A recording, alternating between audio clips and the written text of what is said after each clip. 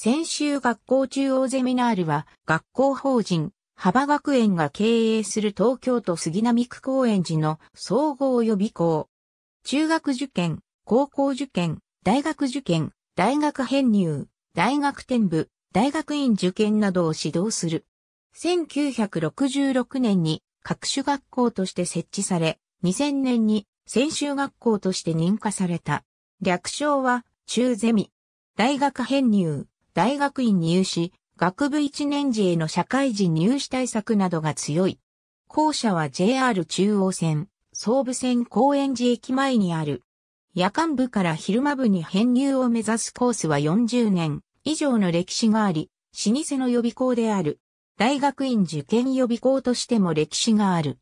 理事長は精神科医、医学博士、高円寺クリニック院長のハバレー人。二人の子息も中央ゼミナールに勤務。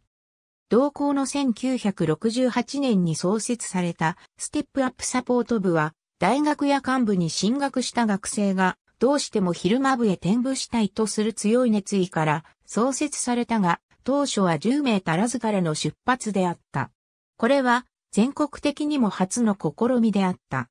ステップサポート部部長、シシド藤井は誰も教えてくれなかった大学編入など編入展部に関する著作が多数ある。授業内容は講義を聞くだけの一方通行の授業ではなく、答案作成と添削がある。聴講、答案作成、添削、復習、再提出、添削の寺子や方式をとっている。編入、大学院、社会人入試対策の通信サポートコースもある。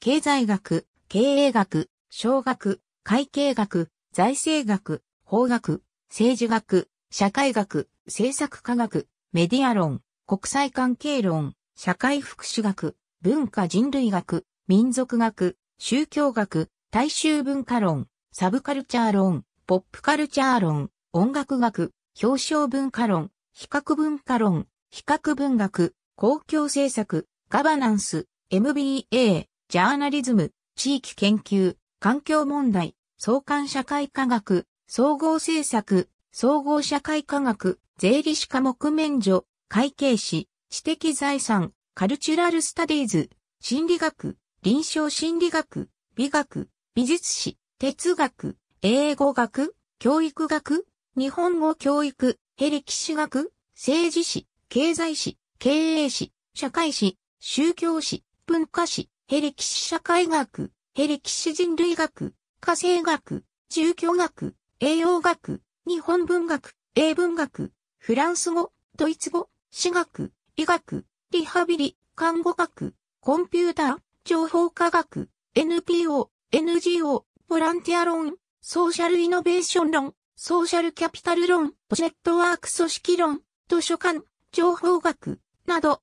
また、クイズダービーの予備校講師と生徒大会には中央ゼミナール講師と学生も出演した。中央ゼミナールの校舎はドラマやバラエティのロケに使われることがある。ありがとうございます。